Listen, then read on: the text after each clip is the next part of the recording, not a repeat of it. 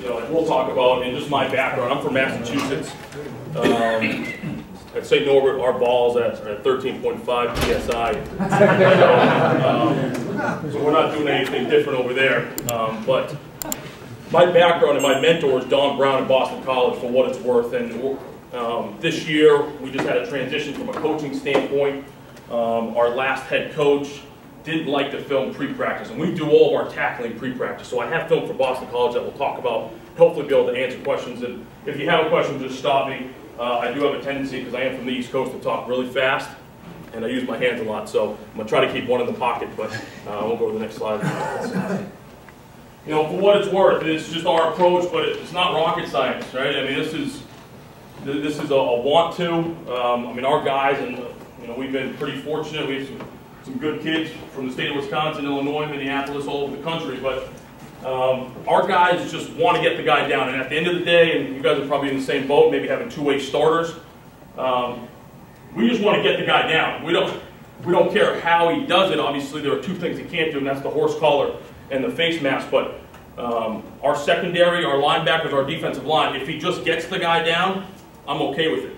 Know, we were six and four this year. Um, two of the big losses against North Central and also against Carroll, um, we had more than 15 missed tackles. So obviously, you can see how that uh, that probably accounts from a bad defensive performance just three things that we talk about, right? Number one is just coming to balance. I know it's pretty self-explanatory, but if you're not working drills, and we'll talk about that uh, later in the in, the slides, but um, you know our buzzword for that is simply sink. And I think now, and you guys know your time's valuable. I mean, you may have coaches that you know work a full-time job. They can only be there for the two-hour practice and game day on Saturdays or Friday nights. So if you have to explain tackling like I'm explaining to you in a 10 to 15 minute um, you know, phrase and you have to break it down in front of them, I, I think you're losing time for more important things, right, with scheme. But so for us, our guys, when I say, hey, Zach Larkowski, you got to sink, he understands right away what I'm talking about, and that really comes from coming to balance. And drills that we do, and I, I have some, some clips of that, but just to give you an idea, we do this every day. It's the first thing that we do. We get five lines. Uh, we simply start on the goal line and we go to the 10. We have a coach at the 10 and they're going to stay in a balanced stance. We talk about sink, we talk about Z in the knee, we talk about flexion in the ankles, the knees and the hips. Okay, obviously the idea and you know the form tackle is, is almost a lost art. I mean, no one really ever tackles someone head on anymore. You know, but this first piece, the sink piece, we need now to bend at all at all three uh, levels: ankles, knees, hips, and I'm, we're simply going to accelerate as fast as we can. And really, the goal is to see how close to the line I can get without going over the line. You know, we always talk about feet on the white, and simply just Z and zip the feet. You know, right on the big knuckle of your toes. Okay, the same thing, same foot, same shoulder, stagger. You know, so if, if we have a guy that's lunging a lot, you know, that's probably because he's not bringing his hips, and that comes with the stagger. And the stagger simply is this: if this is the, the ball carrier, I'm more, I've already came to balance, right? That first phase is done. But now that, that next piece, wherever it is, and I don't care, I tell our guys, I don't care if your head is on the ball side. I don't. Because the first slide, I simply said, get the guy down. So I know that's a, that's a big coaching piece, and I know some people may agree or disagree, but in my eyes, I don't care if your head's on the ball side or not. So if I get to this approach, and we have a lot of guys that only stagger with their left foot, they're comfortable with that. We have guys that can do both, we have guys that only do right. But now I've come to balance, and the next is just going to be heel toe relationship, and I'm more comfortable with my left, and I'm just going to slide that left foot up. I'm going to pick it up and put it down, and as I'm coming to balance, the natural transition, and this will be the second phase in that drill, where I'm coming to balance, coming to balance, coming to balance, and I just have a stagger now. And what we're talking about in that stagger, obviously same foot, same shoulder. So my left foot is now forward. I hope our guys aren't doing this now. Okay, because we want to have a good good posture. We want to have as much power coming from the ground as possible, and that comes from your cleans, comes from your front squats and everything else I know you guys are doing. And obviously the strike point, right? I mean, doesn't really happen for us, but uh, when I tell when I say the form tackle is a lost art, it's very rare unless you're getting ISO or some type of in, inside the tackle run game where you have to run right through the guy. I'm coming to balance. I have my stagger. All I want to do is have violent uppercuts, bring my hips, run it through, grab cloth, and bring the guy down. And it's as simple as that. And in our eyes, and I have some film for it, but in our eyes, it works and it's got it done. Thanks. So coming to balance, right? Just some of the things we're talking about. Before contact, you got to be under control. We I mean, even at our level, right? We're division three. I mean, we're not we're not playing with the same guys Wisconsin's playing with. So this is a big piece to. I mean, this is why we do those simple drills, and I'll, I'll show them a little bit later in the presentation. But from our standpoint, this is going to make or break your tackle. You being under control, right? And that's the biggest thing is now. If you're under control, I feel like now in everything, in the option game, we'll talk about that later, but if you're under control, you have a chance to make a play. So shorten your stride to adjust uh, for change of direction, right? I mean, with all the zone schemes and the cutbacks, we need now, if this is the ball carrier, whoever it is, we need to just make sure, one, we're under control and we're shortening our strides. I think that happens now when you come to balance and you're zitting your feet. And you guys may have a different buzzword for that, I don't know, but our eyes, it's easy. So I can simply say to Zach, and I keep bringing Zach's name up because he's been one of the best linebackers we've had in the last couple of years, but hey, sink was good, but you didn't shorten your stride. So now in that first drill, if he's starting to run, run, run, run, run, and he now goes over the line, in my eyes, those strides need to be a little bit shorter, right? And we don't ever give him, hey, it needs to be six inches or five and a half inches because on the football field, that's tough to, to measure out. So sink your hips, right? Lower your center of gravity. I think that's self-explanatory, but even with our guys, sometimes they don't understand, right? We talk about we want knee benders, not waist benders. And I think that starts in the weight room. You know, you guys probably see it. I mean, shit, when I was in high school, I thought I could squat the world, but then you watch it on film, and I'm always squatting like this. Yeah, well, you know, that's going to bring down poor habits on Friday nights, poor habits in practice, poor habits on Saturday. Flatten your back for striking power. And obviously, a flat back for us is just a 45 degree angle. You know, in my eyes, this is a good football position. I hope to now be able to make a play on this ball carrier, or the quarterback, whoever it is. You know, opposed to, like I said, being a waist bender and truly having a flat back. And you'd be surprised, we have some smart kids, but when I say flat back, we got some old, I mean, some D linemen, you know, that think they're on a stance. You know, and, and, and I know you have to explain that, and probably your level the same deal. You know, and even in the NFL, I mean, you see a lot of guys lunging. And I think now that just talks about, hey, if I have a flat back at a 45, opposed to now I'm bending at my waist, well, hey, you can't hit what you can't see, right? It's the first thing I learned in Pop Warner. Probably the same thing with you guys as well. And keep your head and eyes up, right? And I think this is the process and this is the progression that we use. and I think that's important. You know, I, I don't know if you guys do this, but we don't just throw guys in there and say, hey, we're tackling today. In spring ball, and you know, coach can attest to this. I mean, we don't have any pads. It's awful. Lost the vote by 12 votes. Those are probably the idiots that don't even have football at their college. You know, but those guys voted that we shouldn't have pads. Well, spring ball in our eyes isn't always about scheme. It's about getting the fundamentals, and this is the number one for us on the defense. Right? We got to bring the ball carrier down. You know, hey, if it's a 55-yard game, we still got to bring the dude down. It doesn't matter. And obviously, you know, our, our philosophy, we want to give up three, not six. So talking about the stagger, right? Pretty simple, right? My right leg's up, right shoulder should make contact. My left leg's up, left shoulder should make contact. You know, firm side, right? And I think that starts to get into how you play defense. And this is, you know, what we talk, we were talking about the firm side and the free side. You know, if I'm the left defensive end, I'm probably going to make a tackle more likely if the play's away with my right leg. You know, only because now he understands he's a box player or a skill player, depending on what defense we're in. And all I mean by that is, hey, my outside arm and leg free. This is the firm side in his eyes. He understands that. So Austin Prusha from, from Waunakee or some of the other guys we have, you know, I said, hey, you know, your firm side, what happened? And this goes into everything, right? Staying square and vice versa to the line of scrimmage. Any question on this? Like I said, I'm I'm going to just talk fast unless someone stops me. So we're good, Coach. Thank Right, and accelerate. So I, I, think this is the biggest piece. You know, drive off the front foot. And I, think some people look at that, well, you know, driving off the front foot. Well, if, er, and everything we do, and, and our strength and conditioning coach does a great job of this, you know, when we work this stuff in the offseason in the weight room, but I think that's extremely important. If I'm here and I'm driving off the front foot, hopefully and naturally, the shoulder will come with it. Okay? The shoulder will come with it. Opposed to now, if I'm driving off the back foot, And now maybe my body turns. So lift, roll hips, and run through contact. You know, we have the one-man sled, and probably just like the rest of you, I mean, where we're going to simply just square it up, and I'm just going to give them command sink, and they're bouncing their feet, they're keeping their feet hot, stagger. We'll do the first time on the left, and then strike. And, and I, I want them, as they're as they have violent uppercuts, I want them to bring their knees up. Over exaggerate the knee drop. So I think on Saturdays for us, when the bullets are flying, muscle memory has said to them, hey, when I make contact, my knees are always moving.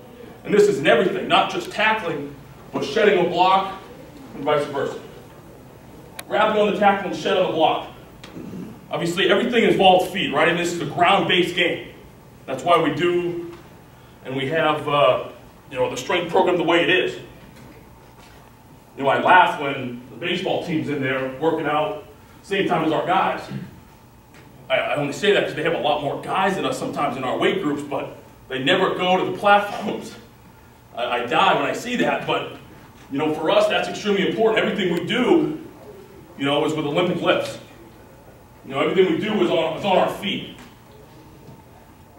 And keep your head and eyes up, right? And I think that's, again, self-explanatory type of stuff, but obviously this is for safety, and this is the biggest thing, right? I know it's cliche to say, but, you know, the game's under attack a little bit. I know probably at the high school level more than college, you guys have parents all the time.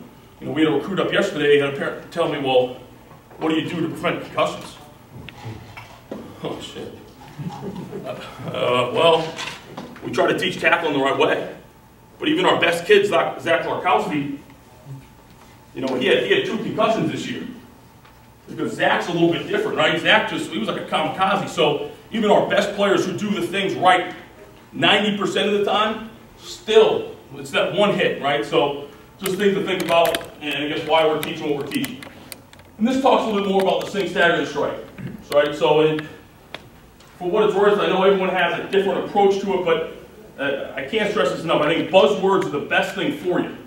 I didn't have a chance to see Coach uh, talk about D-line play, but I, am assuming you have some buzzwords, right? I mean, just things that are easy so you can be fast, right? And I think everything, not just on the field, but your practice. I mean, the two and a half hour practices are over, at least in our eyes, right? I mean, that's just a lot of time, a lot of wasted time. So, you know, we just need to be able to communicate fast, okay? And obviously, the same. We sort of talked about this. You know, head up with your eyes under the ball carrier's chin. You know, and that's a true form tackle. You know, it's really the angle and the profile tackle, which I'll talk about next, that we're really concentrating on. Because really, the only guy that will make a form tackle are our two inside linebackers. You know, we're 3-4 personnel most of the game. So those are the guys that if we get ISO or maybe a counter scheme that's inside of the tackle, he may have a chance to truly wrap this guy up like we've worked and like I just talked about, with violent uppercuts, okay, hot feet, driving those knees, rolling the hips into it. Okay, the stagger, the same thing that we talked about. You know, I think on the bottom there, and another buzzword we say is we talk about vicing. Right? And these, these terms are not just for defense, they're for special teams as well. You know, I, being a Division three coach, I have the uh, awesome responsibility of, you know, being a man of many hats. So I run our KOR unit, I run our punt return unit, I'm the video coordinator. Coach probably knows how that goes. I mean, you do a lot of stuff, so you know, we need to make this simple, and these terms aren't just for our defensive guys. You know, they're for our offensive guys as well. You know, especially the word vice, right? We want to take half the man away. And I think when you think about that, it's like, well, you know, again, self-explanatory, right? We want to take half the man away, work them to the boundary. We want to take half the man away because you're a box player and you have a, you, you know, you have your extra bonus player in the run game. But I think that's important, right? And we're always trying to key the hip. Right? For us, that, that never lies to us. So the, the hip is always something that we're trying to keep. So when we're getting into our stagger, we're trying to take a half man, opposed to when we work it the first day, we're just trying to split the crotch. This is more now our, our foot that we're staggering needs to go to that near number. So if anything else, we're not going to get the cut back to us. You know, if anything else, we're just going to be able to wrap him up at an angle, and we'll talk about that angle tackle in a minute, and then we'll be able to get him down, which is the number one goal for us and the strike. You know, we're just trying to pull him down on the ground, right? We're just trying to get him down. So the angle tackle profile tackle for us is the number one, right? Everything we do in, in, in our game, and probably the same thing with you guys, right, is is this angle tackle. I mean, this, this is how, this is just it. With zone schemes, whatever the case may be, everything now is going to be at an angle. You know, how we teach our linebackers, you know, we don't really cross over anything. You know, we don't ever want to cross the midline of our body, so our linebackers, our inside linebackers are constantly step replace, shuffle, shuffle, shuffle. So we're always trying to stay square. Well, we don't see a lot of ISO, so we're not ever going to get the form tackle, so those angle tackles are important. And this is just obviously from a side, we're just trying to take half man away. And opposed to aiming right in the front, where now this guy has a two-way go.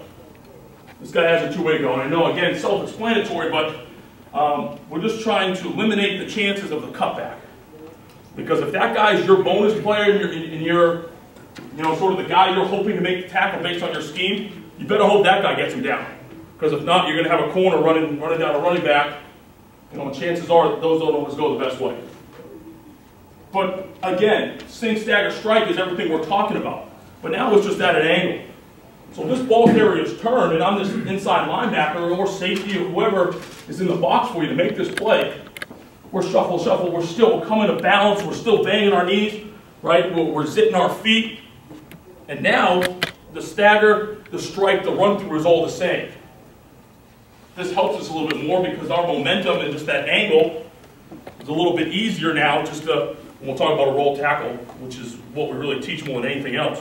But now it's much easier for us to come here, roll it up, keep our feet hot, and vice versa. So I have some coaching points, right? Just deliver the blow, you know, run through, you know, just the things we're constantly trying to say, keep it simple, stupid type of deal. You know, because even our guys, but we have some pre-med guys at 395.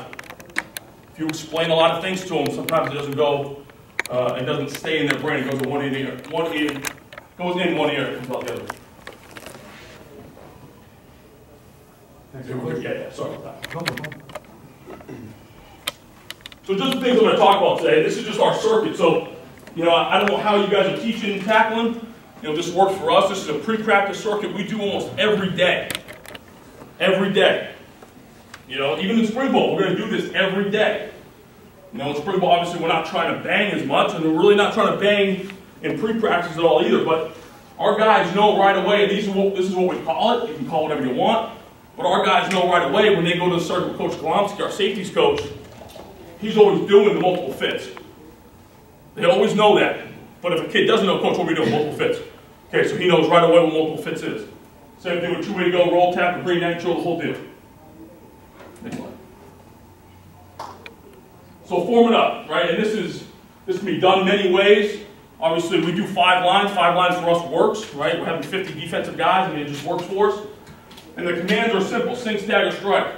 If you have smaller guys, and I don't know how many of you guys have split offense and defense practice based on the day, I don't know if that's most of you or some of you, if you have two-way starters or not, this may be a little bit harder. You know, if it's an offensive emphasis day, well, you might only have 10 guys, you might just want to use a one-man bat. You know, we do that as well too. You know, and just some more coaching points. You know, trying to focus on the numbers. I don't have this drill videotape, but I have a very similar drill. We're just going one-on-one -on -one and working form tackle. So on contact, you grab cloths, eyes to sky, chest to chest. Our guys get this. When I say, hey, PP to PP, they, they know what I'm talking about. You know, and I know it's, it's very childish. There's no question about it. You know, but our guys know right away from a form tackle standpoint, you know, I go, hey, you know, hey, dick to dick, man. You know, they know right away that, hey, maybe they were at the wrong angle in this drill that we need to really be chest to chest and vice versa. Next slide. So multiple fits, right? Some guys call this machine gun, eye opener, openers, a lot of different names for this. And all this is going to be is that ball carrier is going to have a chance. The first time we go through it, he enters each back. So we're just try, trying to constantly, and this is really a linebacker drill in my eyes more than anything. So our linebackers do this, and we'll have this circuit more than anyone else. But in our eyes, we're just trying to get the muscle memory going. You know, and, and obviously you hear that a lot. We're, we're just trying to get these guys to constantly go. Constantly go. You know, keep rep, rep, rep. And I know you guys are probably the same way. You know, and it's everything we've talked about in the previous slides, slides with sink, stagger, strike. And this is a true form tackle, you know, for an ISO play, a counter play, or even power. You know, just some of the things that we're seeing. Any questions on this? This one's big for us. you know, uh, we, we happen to share our, um, we share our field with our, obviously our uh, track team. You know, they got the huge pole vaulting bags, right? Or some of you guys might have, might have crash mats. Well, for us, we do this in two different ways, right? We'll have the, the ball carrier simply pick a, a cone, pick a side he's going to run to, and that's going to be an angle tackle. But we're also, we're also going to work, hey, they're on the half yard line about to score, our linebackers are starting to creep up. And this one will be a little bit more banging. We don't do this as much. This is more of a preseason deal. But I think, if anything else, if, if you get anything out of this, I, I think it's important to simulate reality for these guys. That's why after camp, we never ever do the form fit drill. We just don't do it. But we teach it because it's a progression. It's the first step in our, in our tackling progression. With this goal line angle, I know the fullbacks love it on our team. They, they fucking love it because they usually whoop our ass. Um, but, you know, the running backs do not like it. The quarterbacks do not like it. And yes, the quarterbacks do this. Now, if you got one guy and he's your only guy, I wouldn't put him in. But, you know, we have five guys, you know, and, I mean, if quarterback sneak, that's the one thing you got to work on. I mean, obviously you have the offensive line push, which this is not simulating that, but they still need to know how to get hit. You know, they still need to know how to take a hit with the ball in their hand. And obviously the coaching points just the same thing. Six stagger strike, just the things we're constantly trying to pretty sure our guys, and we're hoping by the first game, you know, when we play, when we play Carthage this year, you know, it's just ingrained in their brain. Two-way go. We don't do this a lot either, because we're always trying to work, like I said, the half man. But from our standpoint, you know, this is more of a secondary drill. Because they're going to be the guys that are going to make plays in open space.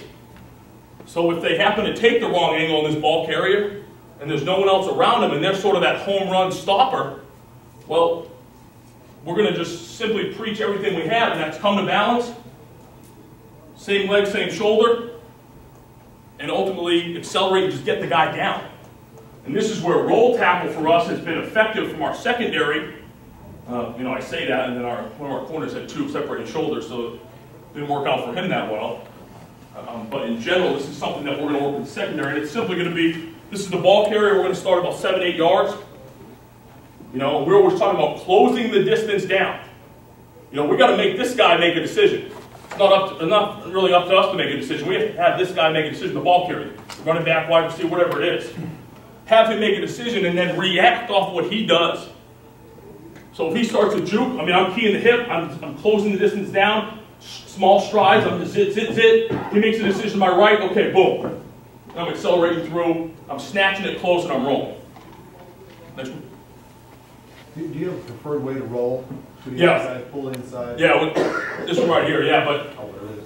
from our standpoint, we want to just, we want to roll the direction we're going, just from a momentum standpoint. So how we always do this, and the film I have um, shows us after the progression is already done, but we'll simply start on two knees and have, you know, just an agility bag here.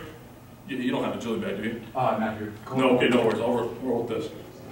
Uh, so from our standpoint, we're simply just gonna work, you know, we have a good posture, good chest, okay? Our commands are simple, right? We're accelerating through, well, that's eliminated. We've already closed the distance down from the ball carrier, okay? We're gonna leave your feet, obviously, we don't wanna do that here, we're on our knees. Okay, but we're gonna snatch two. We're gonna pull two. And we have sandbags that we work this on as well, just 25 pounds. I know, you know, we have a lot of construction guys on, you know, with dads, and you know, somehow we have 10 of them. And we're always working just to pull to, pull to, because you- you're not gonna really get anything from an uh, agility bag. But I'm simply gonna snatch it to my body. I don't want any separation. So as I'm leaving my feet and I'm starting to grab, I need to pull. And as I'm going now, because this ball carrier is going to my right, it's just natural. It's natural. Now, is this the best tackle if it's third and five, you get him after he's already pushed three yards? Well, no, he still may roll to the first down. You just never know what can happen there. But it's just the mindset that it's much easier to do this and roll versus snatching it to your body. His momentum's going that way, your momentum's going that way, and thinking that you're strong enough to do this just probably won't happen. That's just from, you know, from us doing it, obviously from, you know, the places we went to visit about this. I know a lot of you guys have probably seen, uh, you know, the Pete Carroll videos, the hawk tackling. And uh, we watched that a lot. We were, we spent like an hour watching it. What pieces can we take? Well, they talk about target points and strike points. Well, you got to think that's a much different game than we're playing, and it's really a much different game than you guys are playing. Only reason I say that is because if you hit a run, a, quarterback too low, they're flagging you, right? You hit someone too high, possibility of what helmet helmet contact, they're throwing a flag on you. Okay, so they talk about I think sternum to right above the knees is their target point. You know, well, I mean, ideally that's where you want to grab. You want to grab right above the knees. You know, right, right in the back of the knee, be able to snatch it through. Well, and you, you'll see the drill, but we simply, I mean, we are leaving our feet. So to just to give them a target point, and if they don't, and we grade on tackling, if they don't hit that target they get them out on the ankles. Did he get them down? That's our number one. So there's some things to talk about from there. I mean, for what it's worth. Any questions on any of that stuff, guys?